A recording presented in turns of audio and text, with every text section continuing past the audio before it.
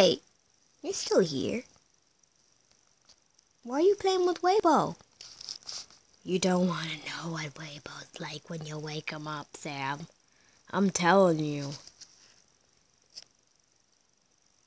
Yep, you looking at me?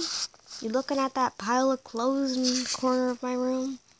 You looking at the Fisher Price book there that like had the little keyboard thingy-mabob that I barely ever use?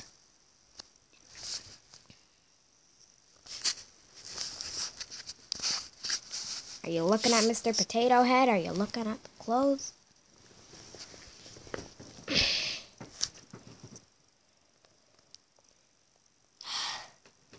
Look at the big box of toys I never use. Silly thing.